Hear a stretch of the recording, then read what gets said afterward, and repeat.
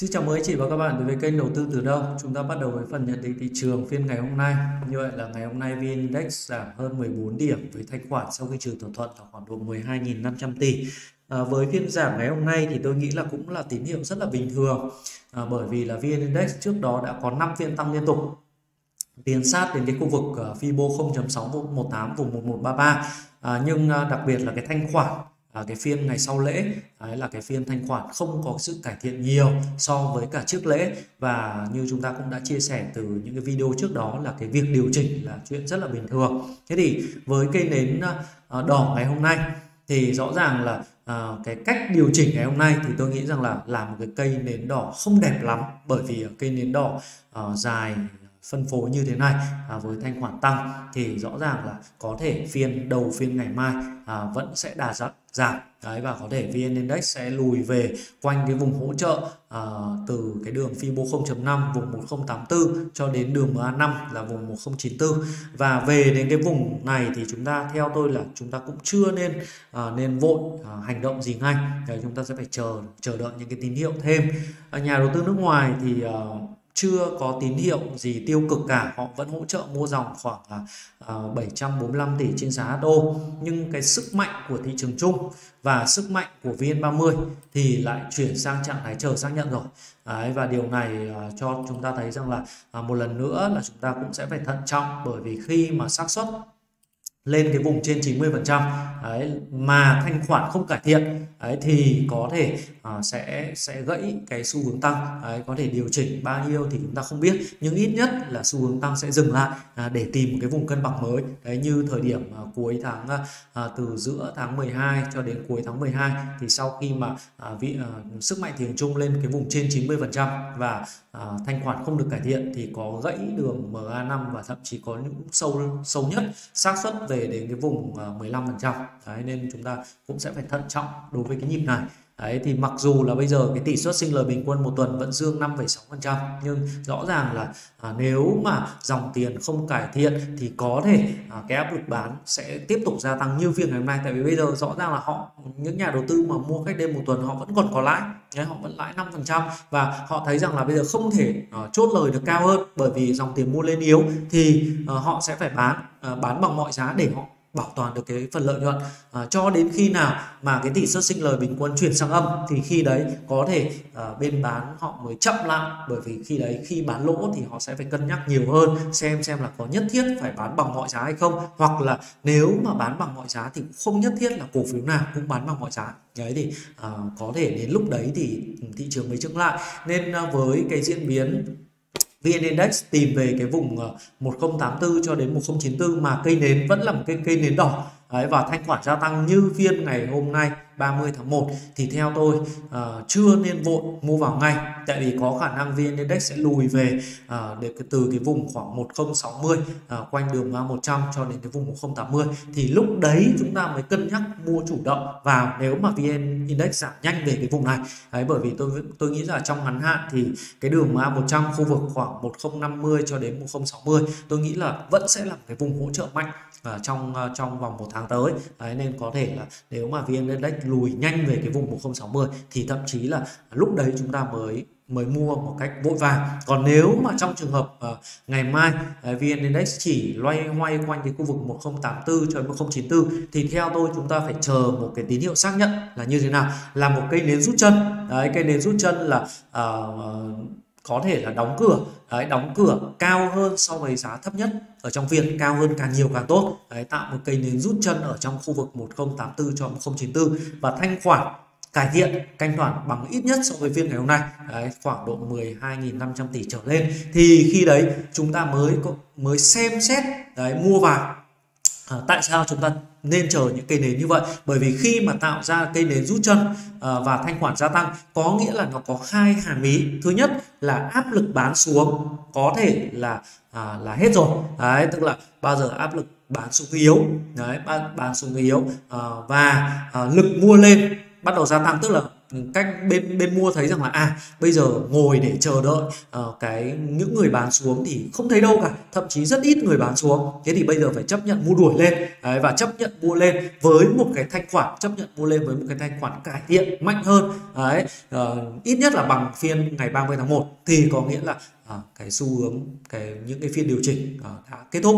Đấy, kết thúc giai đoạn điều chỉnh chuyển sang một cái giai đoạn mới. Và cái giai đoạn tới chúng ta kỳ vọng là gì? Kỳ vọng là đủ thanh khoản đủ tiền để vượt qua cái mốc 1133 thì khi đấy chúng ta đòi hỏi là phải thanh khoản, phải cải thiện lên ít nhất là tôi nghĩ phải trên 12.500 tỷ. Tốt nhất là trên 15.000 tỷ. Nhưng trước mắt có thể cái phiên khóa đáy chúng ta chỉ cần cỡ khoảng độ quanh quanh 13.000 tỷ. Đấy, sau đó là sau phiên khóa đáy đến cái phiên à, quay lại đỉnh cũ. Đấy, quay lại đỉnh cũ quay lại cái khu vực khoảng 1120 1125 à, có thể à, chúng ta cần khoảng 15.000 tỷ để lấy đà vượt qua 1133 thì khi đấy à, cái điểm mua à, của chúng ta nếu mà mua mới ở vùng này chúng ta mới mới tạo ra cái điểm mua uh, ít rủi ro và có cái cơ hội chiến thắng cao. Đấy chứ còn nếu mà ngày mai chúng ta cứ lùi về đây chúng ta cũng không quan sát xem xem là uh, cây nến nó như thế nào hoặc chúng ta không chờ ờ, đợi uh, kiên nhẫn chờ đợi được cái tín hiệu xác nhận chúng ta chót mua vào sau đó đến cuối phiên lại tạo ra một cây nến đỏ dài.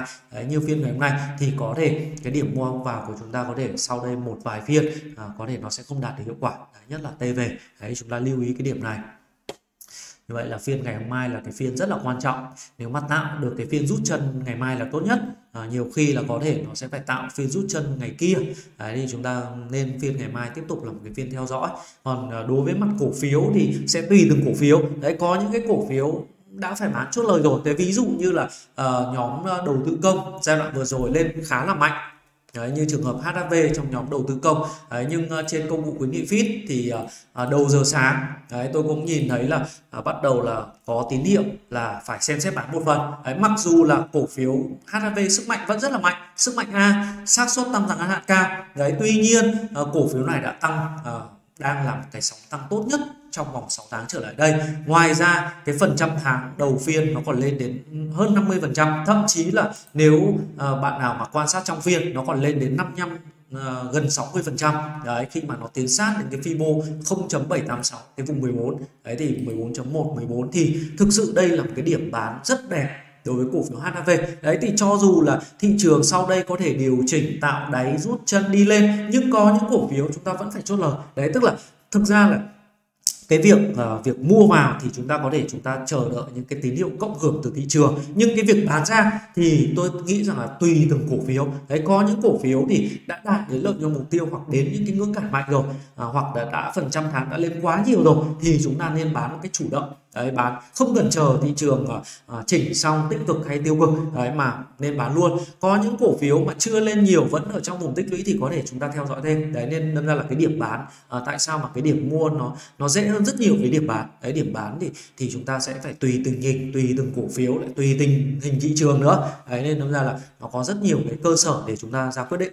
Đấy, và đôi khi là uh, điểm bán nó thường là nên bán non một tí non tay một tí thì uh, thông thường sẽ đạt được cái hiệu quả cao hơn là bán giả tay nhất là trong cái bối cảnh à, năm nay là cái năm có thể là VN Index chỉ biến động trong một cái giải thôi. Đấy, chứ không phải là à, năm tăng mạnh như năm 2021 đấy năm 2021 có thể chúng ta bán già tay bán theo các cái đường MA gãy đường MA chúng ta mới bán thì sẽ đạt hiệu quả tối đa. Nhưng những cái năm như này chúng ta phải đón bán đón bán chủ động. Đấy, khi nó về những cái ngưỡng kháng cự mạnh đấy, và có tín hiệu đảo chiều. Chứ nếu mà chúng ta đợi cho gãy cái đường MA chúng ta mới bán thì có thể chúng ta sẽ mất hết lợi nhuận. Đấy chúng ta lưu ý cái điểm này.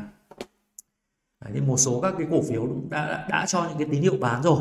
Nên chúng ta lưu ý. Đấy, hay như là uh, đối với cổ phiếu ví dụ như là cổ phiếu HHV là cổ phiếu bán chủ động khi mà uh, đã lên quá nhiều rồi lợi nhuận uh, đạt kỳ vọng rồi thì có những cổ phiếu bắt đầu cũng bắt đầu gãy gãy uh, gãy đường M20 đấy, ví dụ như là NT2 đấy, gãy đường M20 MA5 cắt xuống M20 đấy và nhà đầu tư nước ngoài bán dòng. À, không hiểu sao là gần đây là khoảng độ ờ, 10 à, hơn 10 phiên trở lại đây nhà đầu tư nước ngoài bán dòng rất mạnh ở cổ phiếu NT2 và chúng ta thấy rằng rõ ràng với cái bối cảnh thị trường năm nay đấy mà cổ phiếu nào mà bị nhà đầu tư nước ngoài bán dòng mạnh và à, dài à, thời diễn ra thời gian dài thì rất là khó lên. Đấy nên chúng ta lưu ý là những cái cổ phiếu như thế này là chúng ta cũng phải xem xét bán. Tức là đấy thị trường có thể chưa kết thúc sóng. Đấy nhưng có một số cổ phiếu chúng ta đã phải bán rồi. Đấy bán chủ động à, chốt lời hoặc là bán khi mà gãy đường 20 đấy các anh chị lưu ý cái điểm này. Đối với cả xu hướng hiện tại thì à, tôi vẫn tập trung nhiều hơn vào các cái nhóm cổ phiếu mà đà tăng mạnh có ngành dẫn dắt đấy thì những cái nhóm ngành khác thì ờ, thường là tôi chúng tôi sẽ chia sẻ nhiều hơn ở trong các cái nhóm tư vấn. Đấy bởi vì thời lượng trong cái video có hạn thì uh, cũng không thể chia sẻ được uh, hết. Thì nếu mà anh chị quan tâm thì lưu ý là À, đăng ký vào các cái nhóm trải nghiệm có sẵn cái mã QR ở đầu video. Đấy, hoặc là à, mở tài khoản với ID 4088 của eBroker để tham gia các cái à, cái nhóm tư vấn trong phiên giao dịch. Thì chúng tôi có nhiều thời gian để giải đáp nhiều các cái uh, cái nhóm cổ phiếu cũng như các mã cổ phiếu hơn. Đấy còn trong cái video này thì tôi sẽ uh, sẽ uh, diễn đạt mẫu một cái chiến lược. Đấy, chiến lược mà tôi vẫn đang uh, đang theo sát đấy, để tư vấn. Đấy là chiến lược đà tăng mạnh có ngành dẫn dắt. Thế thì uh, trong uh, chiến lược đá tăng mạnh có ngành dẫn dắt hiện tại thì chúng ta thấy là vẫn bốn cái nhóm ngành uh, đang hút được cái sự quan tâm của dòng tiền là nhóm ngân hàng này, uh, chứng khoán này, thép này à, và dầu khí. Bốn nhóm ngành vẫn đang là ở trong à, hút được cái dòng tiền. À, nhưng chúng ta khi mà chúng ta mổ xẻ kỹ và nhóm ngân hàng thì chúng ta thấy rằng là nhóm ngân hàng đang có tín hiệu phân phối à, nhất là các cái cổ phiếu ngân hàng giai đoạn vừa rồi đã có một cái nhịp lên giảm ví dụ như trường hợp ACB chẳng hạn. ACB là trước đó là có một cái nhịp tích lũy ở quanh khu vực 23 đấy tích lũy khoảng 4 đến 6 tuần sau đó bứt lên. Thế thì rõ ràng là với cái tín hiệu lên dốc như vậy thì đến giờ này thì rõ ràng bây giờ nếu mà chúng ta tìm kiếm điểm mua uh, mua luôn thì chắc chắn nó không mua được rồi. Đấy, nếu mà bây giờ có muốn mua ACB thì chúng ta phải chờ lùi về. Đấy, lùi về những cái ngưỡng hỗ trợ sâu ví dụ như là uh, bây giờ tôi nghĩ là nếu mà lùi về cái Fibo 0.786 cái vùng khoảng độ 23.6 thì lúc đấy mới xem xét mua ACB chứ còn nếu mà quanh khu vực này thì tôi nghĩ là bây giờ để mà mua ở quanh cái khu vực 25.4 uh, ờ, trong một cái bối cảnh thị trường uh, dòng tiền uh, mua lên chưa được cải thiện uh, sức mạnh thị trường đang trong trạng thái chờ xác nhận uh, và uh, đang có cái tín hiệu phân phối ngắn hạn ở một số mã cổ phiếu thì rõ ràng chúng ta mua ở đây sẽ không đẹp. Đấy nên đâm ra là uh, trong cái ngành dẫn dắt uh, banh trứng thép dầu khí thì chúng ta thấy là nhóm uh, nhóm ngân hàng nhóm banh nhóm ngân hàng bắt đầu có tín hiệu phân phối. Đấy, như ACB bắt đầu phân phối hay như là uh, Sacombank bắt đầu có tín hiệu phân phối. Sacombank còn gãy MA5 rồi. Đấy và khả năng sẽ lùi về quanh đường 20 khu vực quanh 24 đấy, hay như là cổ phiếu ờ, CTG thấy rất nhiều cổ phiếu bắt đầu gãy. Đấy, như vậy là nhóm ngân hàng à, làm cái nhóm vốn hóa coi như là đang lớn nhất thị trường đang phát một cái tín hiệu là phân phối. Như vậy cái điều này cũng là một cái tín hiệu à, sẽ sẽ ảnh hưởng đến cái đà tăng của chỉ số trong những cái phiên sắp tới. Thế thì theo tôi là à, đối với khi mà chúng ta quan sát cái chiến lược đà tăng mạnh à, trong ngành dẫn dắt là chúng ta đang quan sát những cái dòng tiền lớn đang hành động Đấy, những cái dòng tiền mà đang à, đang đạt hiệu quả cao nhất mà nó đang cho chúng ta tín hiệu phân phối thì chúng ta lại thêm một bước nữa là chúng ta cũng sẽ phải thận trọng. Đấy như vậy là à, trong cái chiến lược đà tăng mạnh ngành dẫn dắt đối với nhóm ngân hàng chúng ta thấy là bắt đầu đâu đó đã có tín hiệu phân phối đấy, phân phối ngắn hạn và cái quá trình phân phối này mới là bắt đầu. Đấy và có thể nó sẽ kéo dài thêm vài ba phiên nữa. Và thông thường khi nhóm ngân hàng phân phối uh, phân phối trừ phi giảm sâu về quanh đường M20 có thể tạo được những cái phiên bật mạnh. Còn nếu mà à, phân bối từ từ thì có thể để mà tạo ra cái sóng tăng mới có thể nó sẽ cái mất mất à, để mà tìm vùng cân bằng mới nó phải mất tầm 2 đến 3 tuần. Thế như vậy là à, khi quan sát cái nhóm ngân hàng trong cái chiến lược à, đà tăng mạnh ngành dẫn dắt như thế này thì tôi cũng đang hơi lo ngại một chút xíu đối với cái xu hướng ngắn hạn của thị trường chung à, trong vài phiên tới. Nên à, đây là một cái tín hiệu chúng ta cần phải cảnh giác. Như vậy nhóm ngân hàng theo tôi thì tạm thời chúng ta à, chưa vội mua ngay. Đấy, trừ phi là có tín hiệu giảm sâu về đường quanh đường 20 thì khi đấy có thể à, và có tín hiệu nếu mà gặp đường 20 có tín hiệu rút chân có thể chúng ta sẽ xem xét. Nhưng còn nếu mà với cái trạng thái bây giờ thì chúng ta sẽ chưa vội ngay. Đối với cả nhóm thép và nhóm chứng khoán thì uh, phiên ngày hôm nay ờ, chúng ta thấy là có những cái tín hiệu tích cực hơn.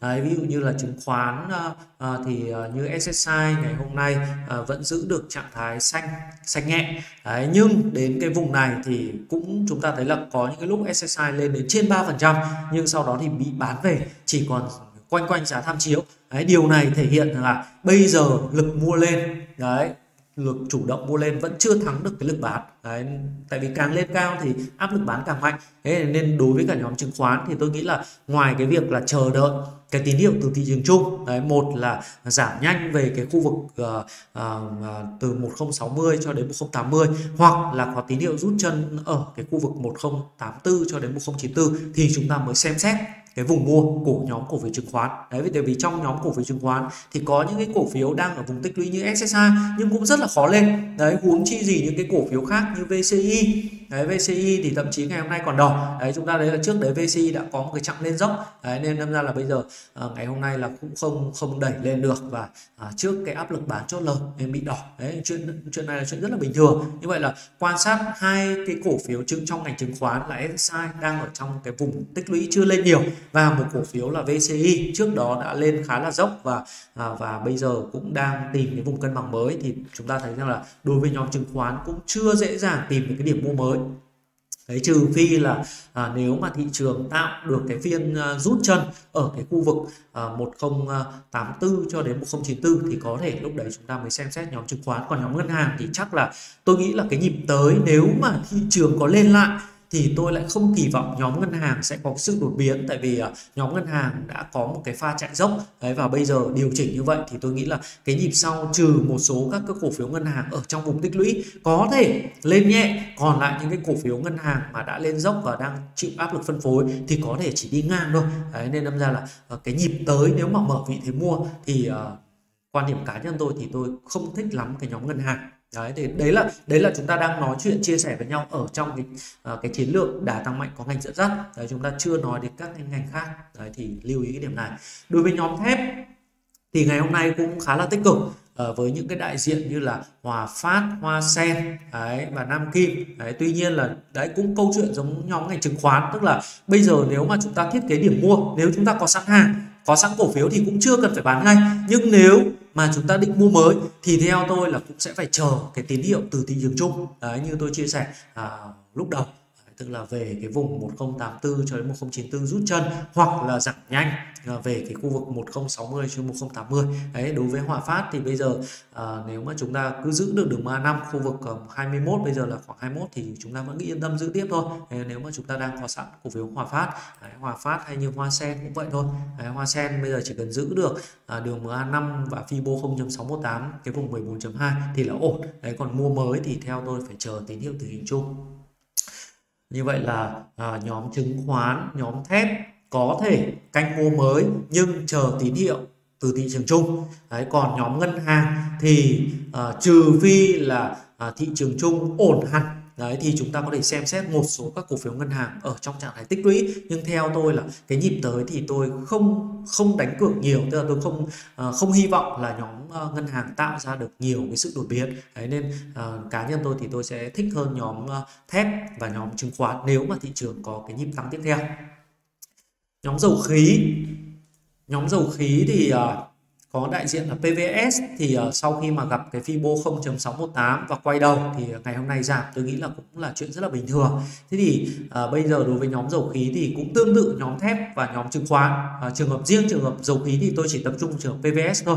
Thì nếu uh, thị trường chung uh, cho cái điểm mua uh, như tôi vừa chia sẻ cộng với PVS à, tạo đáy tích lũy quanh cái khu vực khoảng 238 cho đến 24 đấy thì tôi nghĩ là có thể 24 24 khoảng MA5 thì khoảng 242 243 thì có thể xem xét mua. Tất nhiên phải cần yếu tố cộng hưởng từ thị trường chung nữa. Đấy chứ còn nếu mà uh, thị trường chung mà không tạo ra cái sự cộng hưởng thì có thể uh, các cái cổ phiếu này sẽ lùi sâu về quanh đường 20 ví dụ như PVS có thể sẽ phải lùi về uh, quanh đường 20 là khu vực khoảng 225 hay như là SSI có thể sẽ lùi về đường 20 hoặc là Fibo 0.5 vùng 19 năm hay như Hòa Phát sẽ lùi về quanh cái Fibo 0.618 ờ, vùng khoảng độ 196 đấy tức là nếu mà thị trường chung không có được cái cây nến rút chân ở khu vực 1084 cho đến 1094 thì nhiều khả năng các cái cổ phiếu trụ đấy trong nhóm ngân hàng nhóm thép nhóm chứng khoán nhóm dầu khí sẽ lùi về quanh đường 20 và khi đó về đến đấy chúng ta mới xem xét mở vị thế mua. Đấy còn nếu